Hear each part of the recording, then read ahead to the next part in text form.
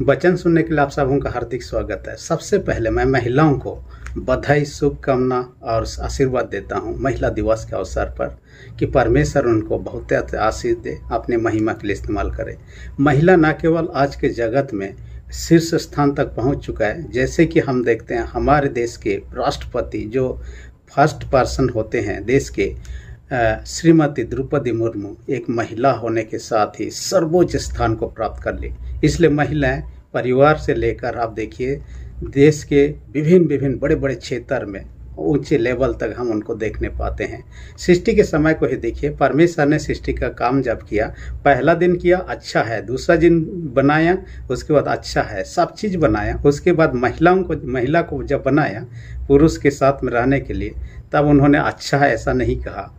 मानो कि एक विद्वान का कहना है, वाह, उन्होंने कहा, ऐसे शब्द ही नहीं था जिनके कारण से महिला के लिए कुछ लिखा जाए। लेकिन परमेश्वर ने अति सुंदर बनाया। न केवल सुंदर बनाया, बहुत ही उनको धैर्य, सहने की शक्ति दिया है। और महिलाओं को देखते हैं, जगत में जितने भी अन्याय, अत्याचार हुआ जाता है, सबसे ज़्यादा महिलाओं के प्रति होता है। इसलिए शायद परमेश्वर ने उनको ज़्यादा सहन शक्ति भी दिया है।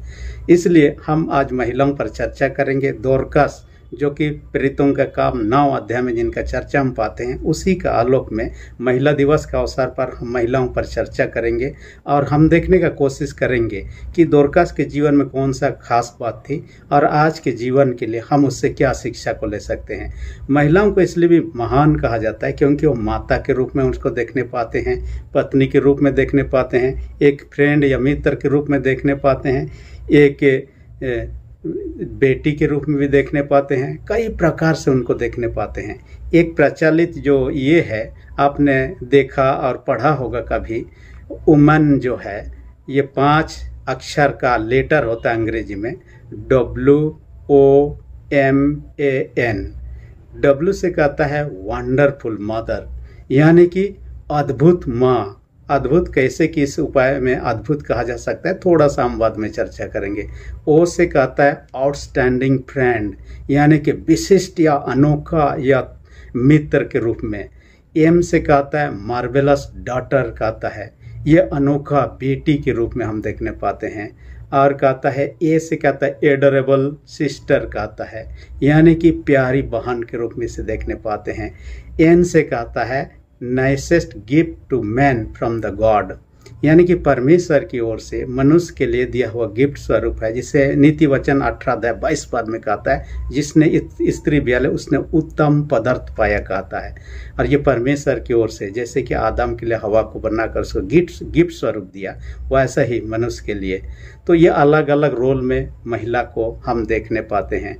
मदर के बारे में हम चर्चा कर रहे थे, माँ के बारे में चर्चा कर रहे क्यों अनोखा हमने देखा? मदर का जो छः अक्षर का लेटर होता है, सबसे पहला आता है एम आता है। मैंने मोस्ट लवेबल कहता है, यानी सबसे प्यारी माँ होती है।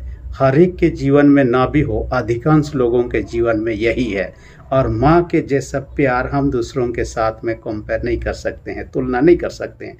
इसलिए माँ का प्यार अनोखा ही होता है। हालाँकि हम ऐसे अंदाजी नाप नहीं सकते हैं, वो तो अंदर में छुपा रहता है। दूसरा चीज़ है, कहता है आउटस्टैंडिंग वो असाधारण, विशिष्ट होती है, कहता है। टी से कहता है टीचर पहला जो शिक्षक जो होता है, माँ ही होती है। एच से कहता है ऑनरेबल सम्मान्य या माननीय। ये माँ होती है, जिसका रेस्पेक्ट करना हर एक बेटा बेटी का कर्तव्य है। और ऐसा नहीं करते हैं, उसका दंड भी है, बाइबल में हम यहाँ ज़्यादा चर्चा नहीं करेंगे। ई से कहता है एक्स्ट्रा ऑर्डिनरी कहता है, निराला, असाधारण। आर से कहता है रिमार्केबल माने उत्कृष्ट कहता है, सबसे बेस्ट वाला कहता है। ये तो मादर के लिए, माँ के लिए कहा गया जो भी हो, आज का वचन जो कि प्रेरितों का काम नौ अध्याय, उसका छत्तीस से इकतालीस में एक महिला का चर्चा हम पाते हैं, जिसका नाम तबिता, और इसका यूनानी नाम कहा जाता है, डोर दोरकास के नाम से जाना जाता है। और दोनों का अर्थ एक ही है, हिरणी हिरणी के नाम से ये अर्थ जाना जाता है। दूसरा क्या कहता है, चिंकारा के रूप में भी, और एक अर्थ इसमें आता है मन भवन यानी कि इस मन भवन से मुझे लगता है, उनका जो चाल चलन था, उनका जो व्यवहार था, ये अर्थ उनके साथ में, नाम के साथ बहुत सूट करता है। क्योंकि ये जो महिला थी, ना केवल अपने लिए जीती थी, इसके विवाह के बारे में कोई चर्चा नहीं ऐसा लगता है कि अकेले रहती थी। परंतु ये गरीब, दुखी विधवा इन लोगों के प्रति बहुत दयालुता दिखाती थी। उनको सहायता करती थी। कलिशिया के लिए भी समय देती, ईश्वर के लिए समय देती, लोगों के भलाई के लिए भी। इसलिए लोगों के बीच में बहुत ही सुनाम स्त्री थी। और जब वो मर जाने के बाद में उनको लिटा दिया गया नहला धुला के और पथरास को यीशु का जो चेला था उसको बुलान भेज दिया, ताकि वो आकर उनके लिए प्रार्थना करे चंगा हो। ये जो घटना है, ये जफा नगर का है। जफा नगर वर्तमान में इसराइल देश में है और उस शहर का नाम, जफा का नाम अभी तेल अबीब के नाम से जाना जाता है। हालाँकि ऑफिशियली हम कहें तो ये इसराइल देश का कैपिटल है, राजधानी है। परंतु अभी वर्तमान में उन्होंने अपना राजधानी चेंज कर दिया, यरूशलेम को बना दिया, जो भी हो। ये ऑफिशियली हो, ना हो, अलग बात है, परंतु उस देश में है ये जन। लेकिन एक बात है, यहाँ पर देखने पाते हैं, वो इतना भला काम करते हुए भी हम देखने बीमार होकर मर जाती है। मरने के बाद में जिनको वो सहायता करती थी, कपड़े सिलाई करके उनको देती थी, वे लोग, उन विधवा महिला लोग अनाथ लोग वे लोग देखे कि ऐसा कैसा हो सकता है। उनको नहला धुला के बेड में लिटा दिया और पत्रास के पास कबर भेजा। ये उस समय की घटना, यीशु मसीह जी उठा मृतकों में से जी उठने के बाद स्वर को चले गए। उसके बाद पवित्र आत्मा उतरता है और यीशु मसीह स्वर जाने से पहले ही पत्रास और बाकी चेलों को भी कहा, तुम जाके सब देशों के लोगों को सुसमाचार प्रचार करो। मत्ती अट्ठाईस उन्नीस बीस में जैसे कहता है। उस आदेश को पालन करने के यीशु का आदेश को पालन करने के लिए। बाकी चेले भी यहाँ वहाँ जाकर सुसमाचार प्रचार करने लगे, परमेश्वर का वचन प्रचार करने लगे। और पत्रास भी जाकर लुद्दा नगर में प्रचार कर रहा था। और लुद्दा से याफा ज़्यादा दूर नहीं था। इसलिए कि लुद्दा नगर में एनियस नाम का एक व्यक्ति जो लकवा से ग्रसित था, पैरालिसिस बीमारी में था, बेड में पड़ा हुआ था, चल नहीं सकता था, उसके लिए प्रार्थना की वो चंगई को प्राप्त किया। इस घटना को सुनने के बाद में यहाँ भी महिलाएँ सोचने लगे, विधवा महिलाएँ, पतरास को जब बुलाएँगे, वो प्रार्थना करे, वो जीवित हो जाएगी। और ऐसा ही किया गया। पतरास उनके बीच में आया, सबको घर से निकाल दिया, उसके बाद उनके लिए प्रार्थना किया, और वह उठ खड़ी हुई और उनके हाथ में सौंप दिया। देखिए इस घटना में जब देखते हैं, यह अद्भुत एक चमत्कार है। और इस घटना के आधार पर मैंने इस वचन का शीर्षक रख दिया, मृत तबिता का ज़िंदा होना। मृत तबिता का ज़िंदा होना ये मैंने शीर्षक रख दिया है। और इस जो प्रीतों का काम पुस्तक का लिखने वाला जो व्यक्ति था, उसके बारे में कहा जाता है, लुका ही था लेखक। और उन्होंने थियोफिलुस को पहला पाद में ही, पहला अध्याय का पहला पाद में ही दर्शाता है कि थियोफिलुस के नाम से उन्होंने लिखा। थियोफिलुस का अर्थ होता है, परमेश्वर का मित्र। वो जो परमेश्वर का वचन पालन करता, सुनता है, चलता है, वो भी थियोफिलुस के समान है। परमेश्वर का मित्र कहलाता है। परंतु जो भी हो, परंतु ये लुक का चाह रहा था कि उन लोगों तक भी पहुँचे, जो लोग यहूदी नहीं है और प्रभु को ग्रहण करना चाहते हैं चाहे नहीं किए हैं, उन तक भी सुसमाचार पहुँचे। इस कारण से उन्होंने लिख कर इसको देता है। और आज का इतवार का नाम भी दिया गया है क्वासी मोदो गेनिति क्वासी मोदो गेनिति का अर्थ होता है नए जन्मे बलकों के समान। ये पहला पत्र दो अध्याय दो पास से लिया हुआ है। नए जन्मे बल्कि के लोगों का स्वभाव कैसा है? ये लोग खाने पीने के लिए रोने लगते हैं और उनको पिला दिया जाए दूध तब तो ये लोग शांत हो जाएँगे। वैसे ही आपको मुझे क्या करना है? छोटे बालकों के समान ही आपको मुझे परमेश्वर के वचन की लालसा करना चाहिए। जैसे उनको पिला, दूध पिलाने के बाद उनका पेट भर जाता है, वे लोग संतुष्ट हो जाते हैं। आत्मिक भोजन परमेश्वर का वचन को हम लेने के द्वारा आत्मिक रूप से हम तृप्त हो सकते हैं। और वे बच्चे जैसे पीने के द्वारा से उनका शारीरिक विकास होने लगता है। ये आत्मिक भोजन परमेश्वर का वचन लेने के द्वारा आत्मिक रूप से हम बढ़ने लगते हैं। और ये हमारे जीवन में काम करने लगता है। और खासकर आज तबिता के बारे चर्चा कर रहे हैं। तबिता के समान हमारा स्वभाव भले गुण से भर जाता है, क्योंकि बाइबल कहता है, दूसरा तुमत तीन अध्याय सोलह पद में कहता है हर एक परमेश्वर का वचन उसके आत्मा के प्रेरणा से द्वारा लिखा गया है। और सत्रह पद में कहता है, ताकि हर एक जन क्या करता है, भले काम के लिए सिद्ध बन जाए, ऐसा कहता है। यानी कि ये वचन जो है, हमारे जीवन में काम करने लगता है, जब हम इसे ग्रहण करने लगते हैं। जो भी है, आज के शीर्षक के आधार पर मैंने दो पॉइंट पर चर्चा करना चाहूँगा। सबसे पहला पॉइंट जो है, कहता है, तबिता के लिए प्रार्थना। तभी तक के लिए प्रार्थना निवेदन किसने किया? ये विधवाएँ, महिला, अनाथ लोग जो इनके बीच में तबिता काम कर रही थी। वे लोग प्रार्थना करवाने के लिए पत्रास के पास आदमियों को भेजा। वे लोग उसको बुला कर लाते हैं और पत्रास उनके लिए प्रार्थना करता है। वो जीवित हो जाती है। देखिए, जीवित होना परमेश्वर का सामत का काम है, क्योंकि परमेश्वर ज़िंदा ईश्वर है। यीशु मसीह को शायद देखिए, अपने जीवन काल में तीन लोगों को जीवित किया। याहिर की बेटी को उन्होंने जीवन दान दिया विधवा का बेटा को उन्होंने जीवन दान दिया। लाजर जो चार दिन से कबर में पड़ा हुआ तो उसे भी ज़िंदा किया। ना केवल इन लोगों को ज़िंदा किया, खुद स्वयं यीशु मसीह जीवित हो उठा। इसलिए जो कोई इस पर विश्वास करते हैं, वे लोग भी जीवित होंगे। ये हमारा विश्वास है। परमेश्वर का वचन यही कहता है। जो ग्यारह पच्चीस में कहता है, पुनरुत्थान और जीवन मैं ही हूँ। जो मुझ पर विश्वास करता है, यदि मर भी जाए तो भी जिएगा, कहता है। ये परमेश्वर का प्रतिज्ञा।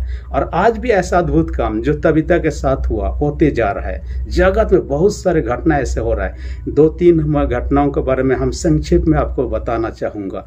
सबसे पहले मैं कहूँगा कि संता कौर के बारे में आपने सुना होगा, जो कि साधु किसान सिंह की बहन है। एक बार क्या हुआ, परिवार का अच्छा के विरोध में ये दोनों भाई बहन प्रभु में आ गए। और अचानक से बीमार होने के साथ ही शांता कौर मार गई उनको दफनाने के लिए समय नहीं था, शाम हो चुका था। इन्होंने घर के लोगों ने मना कर दिया, हम इसका दफन में शामिल नहीं होंगे, ना ही कुछ करेंगे, क्योंकि ये मसीह को ग्रहण कर चुकी है। दूसरा दिन दफनाने का समय था। रात के समय जब सो गए हैं, प्रार्थना करने के बाद अचानक से आत्मा फिर से वापस आ जाता है।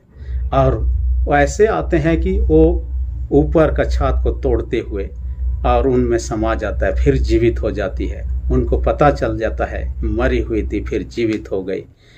हम लोगों ने रीति का मंगलनी के बारे में चर्चा किया है। जो आगरा के महाराज है, जो कि बड़ा पुजारी है, उनकी बहू है, और उनका बेटा जो था, अचानक से बीमार होकर मर गया। उनके खानदान में कई लोग डॉक्टर होते हुए, उनका इलाज करते हुए किसी ने बचाने में सफल नहीं हुए। दफनाने से पहले रितिका ने अपने ससुर से कहा, जो भी कि ये लोग मसीह को नहीं मानते हैं, लेकिन उन्होंने कहा, मुझे कुछ समय दीजिए, क्योंकि उसकी बहन रितिका की बहन अमेरिका में विवाह किया था, एक मसीही परिवार में, और उन्होंने कहा, प्रार्थना कर तो जीवित हो जाएगा, क्योंकि परमेश्वर का दास ने उसके बारे में भविष्यवाणी किया है। उन्होंने कुछ ही समय मांगा और घर के अंदर घुस जाने का उनके लिए प्रार्थना किया। और उसका बेटा धीरे धीरे धीरे हाथ हिलाने लगा, आँख खोलने लगा, फिर जीवित हो जाता है। कई घटनाओं का हम देखने पाते हैं और एक विशेष व्यक्ति का हम चर्चा करने। और तो वो तो है महेश चावड़ा। एक बार अपने सेवकई में काफ़ी सारे अस्सी देशों में कम से कम उसका सेवकई अभी भी जारी है। कोंगो देश में प्रचार कर रहा था। एक प्रचार के दरमियान परमेश्वर का आत्मा ने उनको अगुवाई किया। उन्होंने कहा कि एक व्यक्ति जो ऐसा है इस सभा में और उसका बेटा सुबह ही मर चुका है और वो उसका डेड बॉडी को उन्होंने सब घर में ही रखा है। जो डेड बॉडी रखा जाता है, उस रूम में रखा हुआ है। उनके लिए बुलाइए आगे, उनके लिए प्रार्थना कीजिए। उनका बेटा अभी ज़िंदा हो जाएगा। हालाँकि सारे फॉर्मेलिटीज़ पूरा कर दिया गया डेथ सर्टिफिकेट भी उनको दे चुका गया था। फिर भी जब उन्होंने पुकारा, वो व्यक्ति सामने आता है, पूछा तो सही है क्या? हाँ ये सही है। उनके लिए प्रार्थना के जैसे प्रार्थना के हॉस्पिटल उनका प्राण वापस आ जाता है। परमेश्वर अद्भुत का काम आज भी कर रहा है। लेकिन ऐसा बात नहीं है कि हर एक कोई जीवित हो जाएँगे जितने मरे हुए हैं, क्योंकि परमेश्वर ने हर एक के जीवन की सीमा को बंधा है। अयुब की पुस्तक चौदह अध्याय पाँच पद में है। इस कारण से हर एक को एक न एक दिन जाना है जिस समय के आधार पर ईश्वर ने आपके मेरे लिए जीवन को तय किया है। परंतु ये प्रमाण है, परमेश्वर सामर्थ्य है, आज भी काम कर रहा है। क्योंकि मरा हुआ व्यक्ति को हम गाली दें, लात मारें गुस्सा मारें, वो कुछ भी नहीं करेगा, लेकिन जीवित व्यक्ति हलचल करेगा, बात करेगा इधर उधर हो सकता है। परमेश्वर जीवित है, आज भी काम कर रहा है। दिनाकरण का पुस्तक मैं पढ़ रहा था डी डीजेस दिनाकरण, जो इस दुनिया में नहीं है, अपने एक घटना के बारे में चर्चा करता है। एक परिवार से उनके पास चिट्ठी आया। चिट्ठी में उन्होंने लिखा कि हमारा बेटा जो है बीमार है और गंभीर बीमार मरने वाला है, कम से कम उनके लिए आप प्रार्थना कर दीजिए। उन्होंने उनके लिए प्रार्थना किया। प्रार्थना के बाद उन्होंने चिट्ठी लिख भेजा, आपका बेटा मार जाएगा, ज़िंदा नहीं होगा। और मरने से पहले ये कहेगा, मुझे लेने के लिए, स्वर्ग लेने के लिए स्वर्गदूत आ गए हैं। मम्मी पापा, आप लोग मत रोइए। ये खबर उनसे आप सुनिएगा। और कुछ दिन घटने के बाद में ऐसा ही होता है। उसका बेटा कहता मुझे लेने के लिए स्वर्गदूत आ चुके हैं, मुझे जाना होगा। और ऐसे करके उनके बीच में से विदा हो जाता है। देखिए, ईश्वर का इच्छा जब जिनको लेना है, अपने समय पर बुलाता है, परंतु कईयों का जीवन को अधिक जोड़ता है, अपने है, और उससे हम जोड़ नहीं सकते एक मिनट, एक दिन भी अधिक जोड़ नहीं सकते इसलिए ये ईश्वर की बात है। परंतु एक बात है सामत का काम तो होना तय है, और होते आ रहा था, पहले से भी, अब भी वर्तमान में हो रहा है। परंतु एक बात है यहाँ पर, तबिता जैसे मरी थी, उनके लिए प्रार्थना आज तो हमें करने की ज़रूरत नहीं। कई लोग जो हैं, आत्मिक रूप से आज भी हमारे परिवारों में, हमारे मंडियों में मृत अवस्था में, शारीरिक रूप से ज़िंदा है, आत्मिक रूप से मृत है, और आत्मिक रूप से मरे हुए लोग हलचल नहीं कर सकते हैं। आत्मिक चीज़ों को नहीं कर सकते हैं, विनती नहीं कर सकते हैं, आराधना नहीं कर सकते हैं, वे लोग हाले गीतों को गा नहीं सकते हैं। ये लोग ऐसे अवस्था में जो लोग हैं आत्मिक मृत अवस्था में है। और आपको मुझे उनके लिए प्रार्थना करना, आज पत्रास आने वाला नहीं है प्रार्थना के लिए, आपको मुझे उनके लिए प्रार्थना करना है। दूसरी बात क्या करना है, जैसे कि कहा आज के संडे का नाम ही है, क्या कहा? नए जन्म बालकों के समान, क्वासी मोदो ज्ञानीति और ये क्या परमेश्वर का वचन की लालसा का। परमेश्वर का वचन को हमें लोगों को सुनाना है। उनको जो प्रभु में नहीं है और आत्मिक रूप से मृत अवस्था में है। देखिए बीज को हम जब बोते हैं, ज़मीन के अंदर में जाने के बाद वो मरता है, लेकिन उसके बाद एक नया सा पौधा उगने लगता है। वैसे ही परमेश्वर का वचन जब हमारे अंदर में जाता है बीज के समान, एक आत्मिक पौधा उगने लगता है और बड़ा होने लगता है। इसलिए हमारे जीवन में बदलाहट लाने के लिए, आत्मिक रूप से जीवित होने के लिए परमेश्वर का वचन की भी ज़रूरत है। और इस कारण से कहता है, नए जन्मे बच्चों के समान आत्मिक दूध की लालसा करो कहता है। ऐसे करने के द्वारा हम क्या करेंगे? हम दूसरों के लिए प्रार्थना करें, वचन में रहेंगे। हम हर एक भले काम के लिए, जैसा दूसरा तिमोते तीन अध्याय सत्रह पद में, हर एक भले काम के लिए, हर एक जन सिद्ध और तैयार हो सकते हैं, कहता है। और आप देखते हैं कई लोगों के पास में आज भी भले काम करने के लिए आगे आते हैं।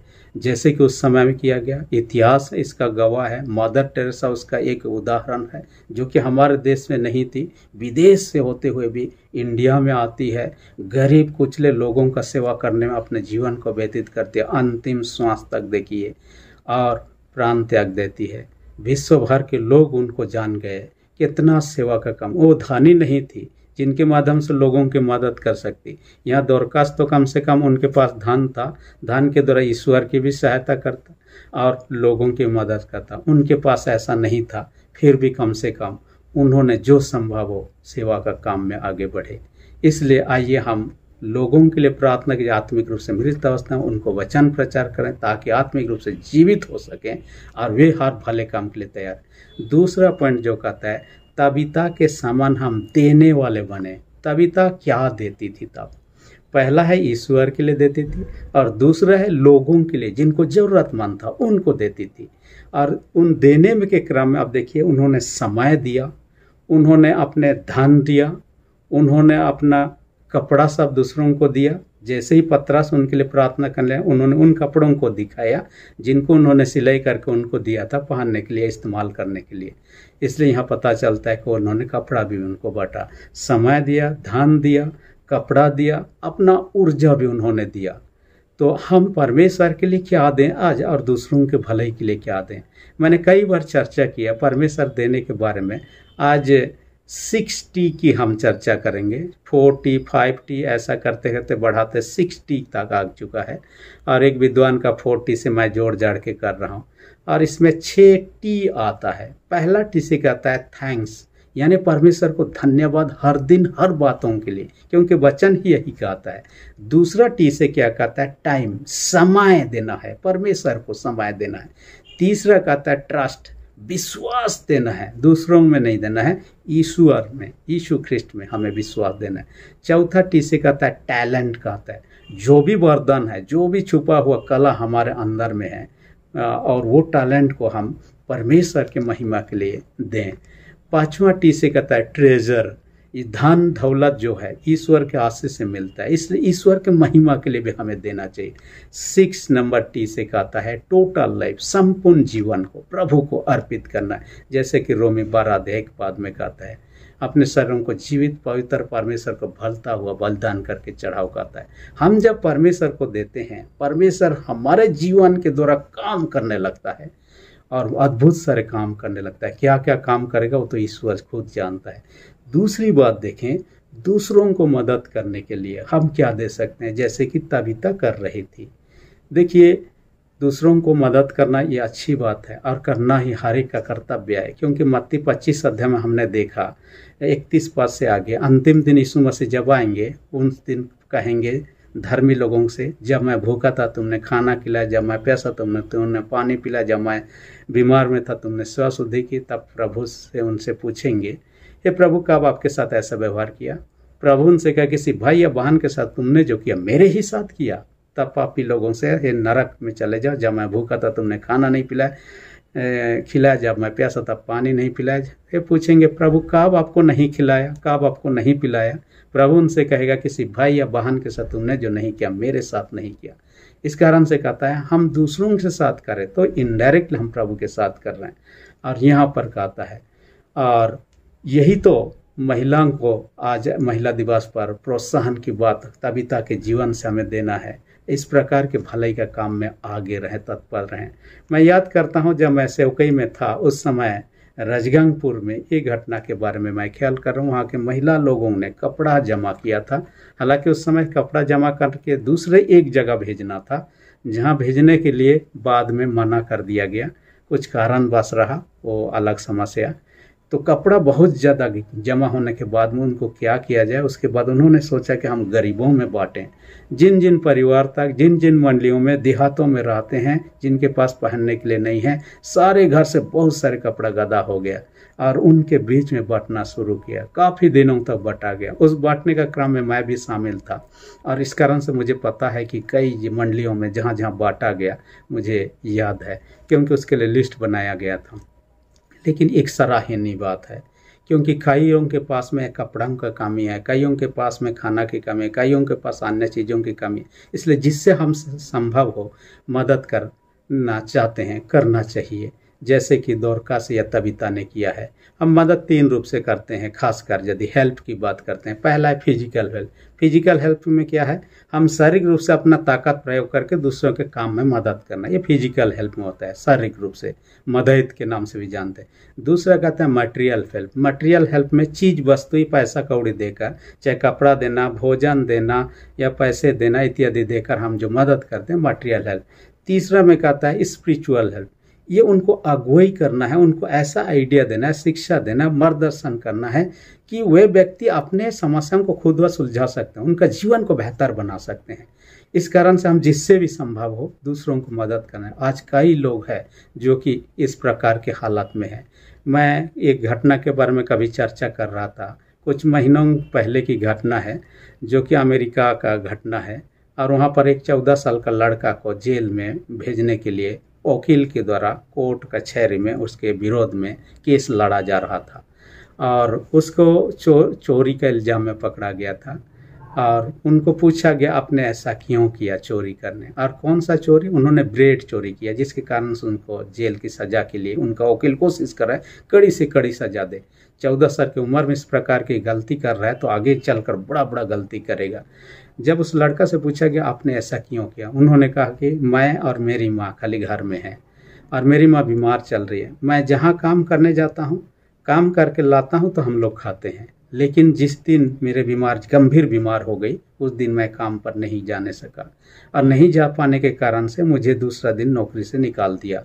और नौकरी से निकाल देने के बाद हमारे पास में पैसा नहीं है खाने के लिए। इस कारण से मुझे ब्रेड चोरी करना पड़ा। जज ने उनको पूछा, आप किसी से मदद मांग सकते थे? ब्रेड के लिए आप चोरी किए। उन्होंने कहा, मैंने कम से कम पंद्रह से बीस लोगों को मदद मांगा। किसी ने भी मदद नहीं किया। अंत में मुझे चोरी करना पड़ा और चोरी करते पकड़े गए।